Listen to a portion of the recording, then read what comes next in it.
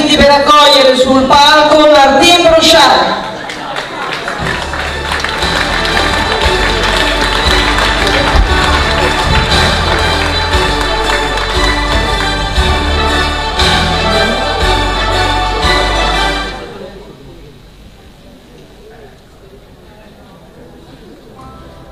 Martine Brochard è un'attrice, cantante e scrittrice francese, nata a Parigi e naturalizzata italiana. Da bambina in Francia studia danza classica, jazz e recitazione e fin da ragazzetta inizia a lavorare nel cinema, in teatro e in televisione. Esordisce nel cinema con René Clement, in Parigi in Brucia e François Truffaut, nei Baci rubati.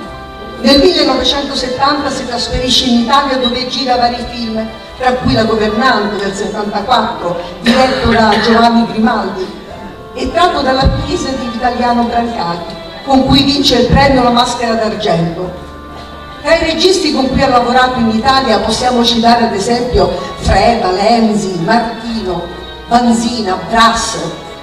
Tra i film più importanti in cui Martin Brochard ha recitato va senz'altro ricordato Prigione di donne del 75, diretto da Brunello Rondi, Mannaia di Sergio Martino del 77 e Una spirale di nebbia di Evitrando Visconti dello stesso anno.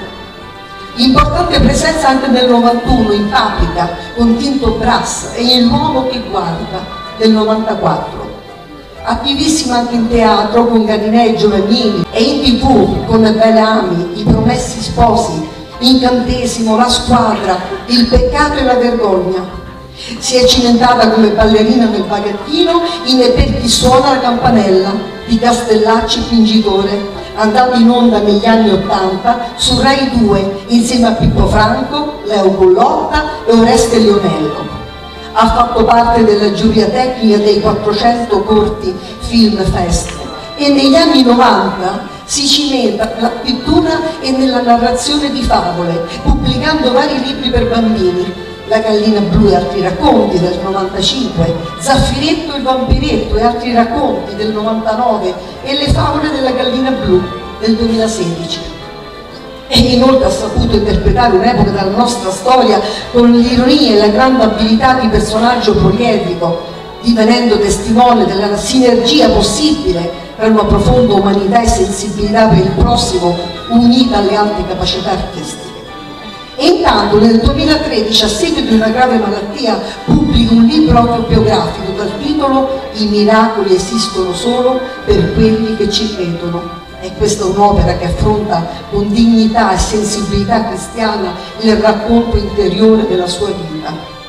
Martin Brochard eh, ha saputo senz'altro interpretare un'epoca della nostra storia e come emerge anche dalla piacevole intervista di Fernando Mariani, la Brochard è senz'altro una donna di grande talento, soave femminilità e raffinata eleganza naturale un artista che è un esempio di serenità interiore e forza d'animo.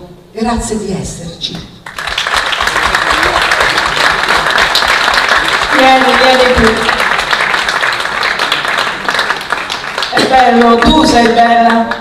Lo eri e lo sei ancora, bellissima, ma non soltanto bellissima perché hai un'intensità che si vede anche dalle foto e ti è rimasta. Questo è l'abbraccio di Velletri.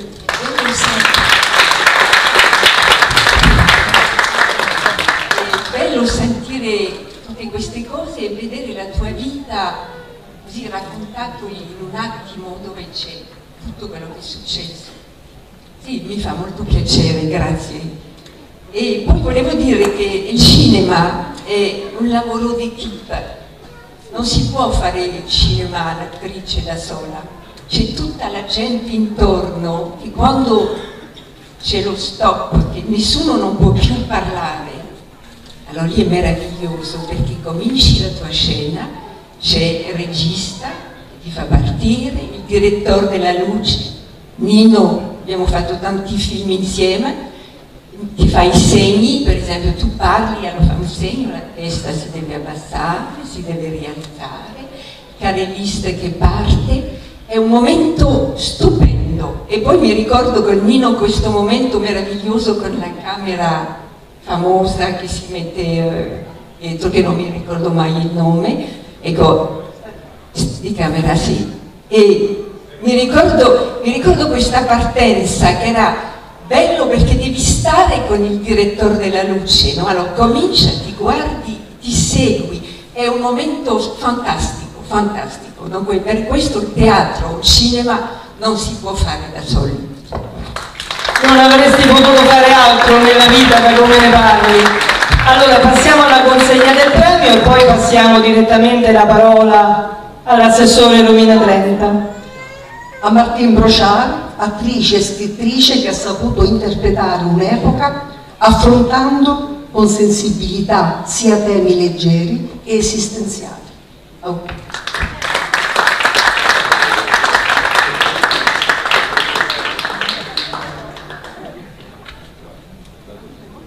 Questo. Vabbè, sì, è molto bello questo premio, devo dire, per, eh, cioè, ricorda proprio Velletri, è fatto benissimo, mi piace poi la, la pellicola che, che sale, bello. Complimenti. A proposito di microfono, questa è la mia invenzione. Questo microfono l'ho realizzato io pochi giorni fa. Una delle tante mie creazioni. Vai Romina che dobbiamo recuperare.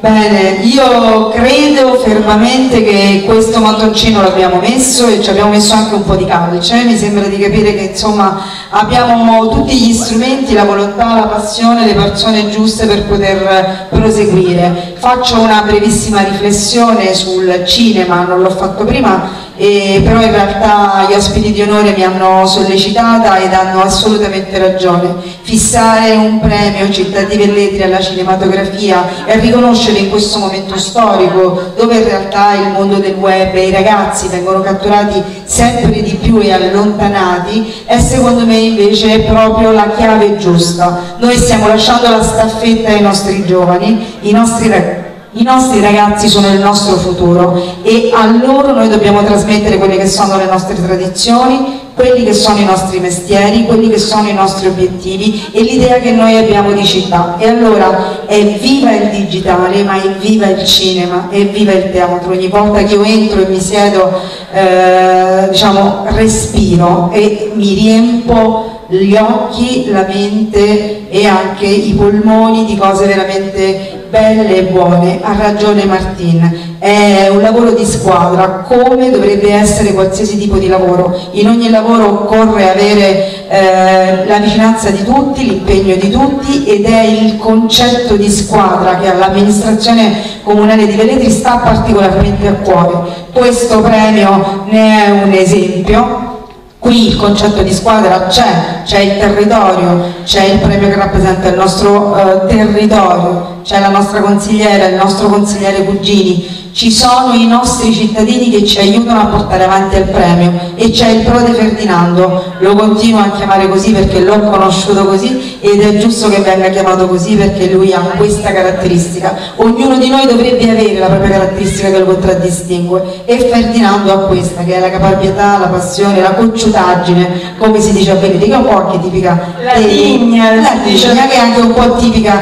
dei, dei velletrani. Quindi io credo che noi oggi abbiamo fatto molto, abbiamo veramente eh, piantato un seme che può diventare una grande foresta, io me lo auguro nuovamente, i miei complimenti vanno ripetuti, abbiamo consegnato i premi con eh, la rappresentazione ufficiale della nostra città perché ci teniamo particolarmente e quindi grazie agli intervenuti. Ora io eh, non potrò godere dello spettacolo che arriva perché diciamo, sono impegnata in un'altra manifestazione, oggi sapete che noi stiamo inaugurando l'89esima festa vini, abbiamo la città in fermento perché il nostro territorio è veramente fervido, in, continuo, in continua evoluzione quindi mi scuso con chi mi vedrà uscire, non è mia abitudine e non mi vedrà assistere fino alla fine, ma sono sicura che lo spettacolo sarà meraviglioso e degno di conclusione di questa giornata e di questo evento.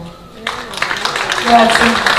Volevo, solo dire che i ragazzi amano il cinema. Io per esempio ho mio nipote che ha 15 anni, è entrato alla Rossellini e vuole fare il cameraman questo già è una cosa positiva, e poi tutta la mia famiglia, mio figlio fa il regista, mia nuora fa l'attrice e la bambina più piccola ha cominciato a ballare, una catastrofe.